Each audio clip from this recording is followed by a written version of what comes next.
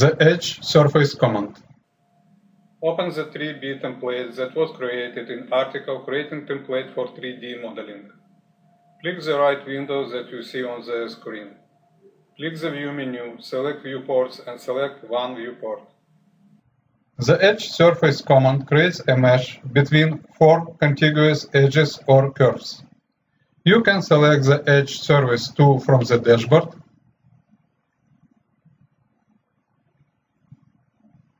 or click the Draw menu, select Modeling, select Meshes and select Edge Mesh.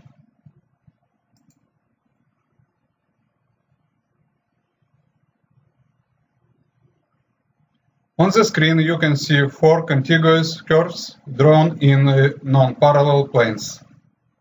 Select the Edge Surface tool.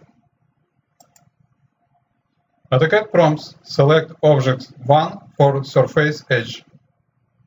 Click the curve as shown on the screen. AutoCAD prompts select Object 2 for surface edge. Click the curve as shown on the screen. AutoCAD prompts select Object 3 for surface edge. Click the curve as shown on the screen. AutoCAD prompts select Object 4 for surface edge. Click the curve as shown on the screen. You can see result on the screen. Click the object and right-click.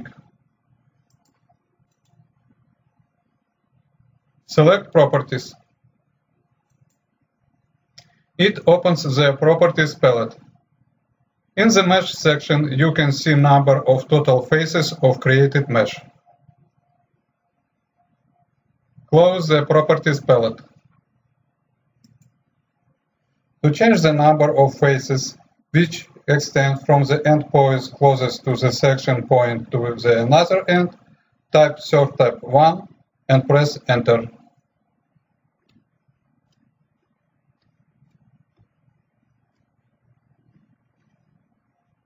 At the AutoCAD prompts enter a new value for SURFTAB1.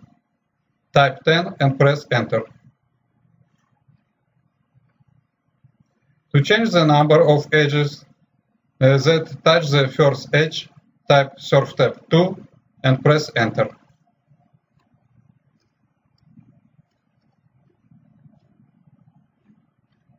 AutoCAD prompts enter a new value for Surf Type 2.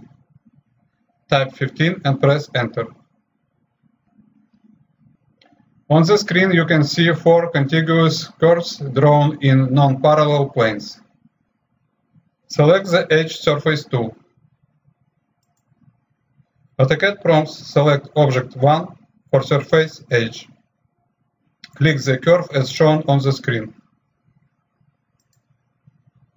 AutoCAD prompts select Object 2 for surface edge. Click the curve as shown on the screen. AutoCAD prompts select Object 3 for surface edge. Click the curve as shown on the screen. AutoCAD prompts select Object 4 for surface edge. Click the curve as shown on the screen. You can see result on the screen.